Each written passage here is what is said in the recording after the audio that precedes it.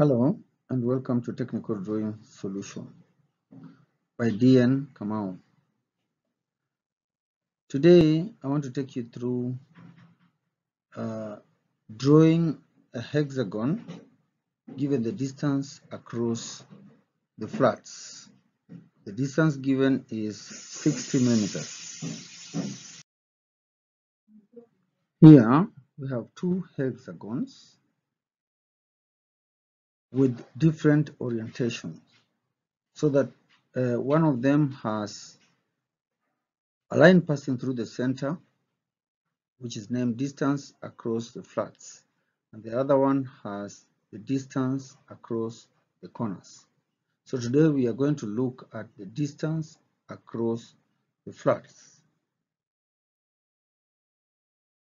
So the first thing you do here is to draw that line a construction line of 60 millimeters. Then get the center of that line.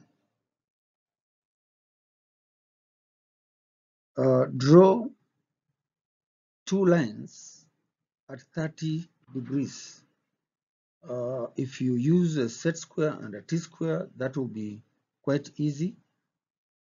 You will have uh, two angles of 30 the opposite direction.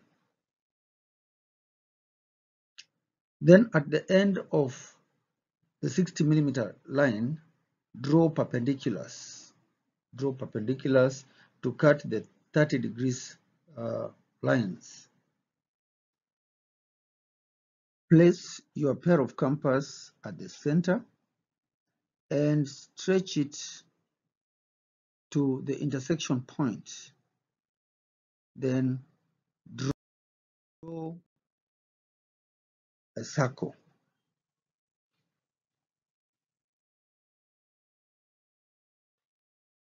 Uh, measure the radius. Take the distance of the radius and strike all around the circumference of the circle and you will have your hexagon across across the flats. Thank you for watching and hope we'll meet in the next video.